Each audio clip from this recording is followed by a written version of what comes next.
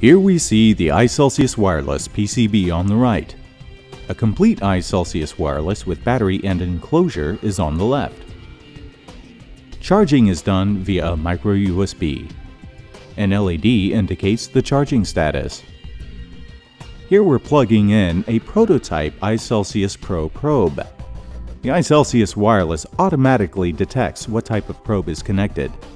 Production run probes will have a nicer connector. Here we have an iPad and an iPhone connected to the iCelsius Wireless. We can see that the sensor is capable of sending data to both devices simultaneously.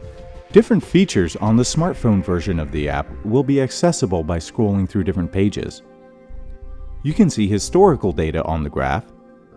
There is also a feature for setting up alarm thresholds. Now let's test the probe in hot and cold water and show you the results.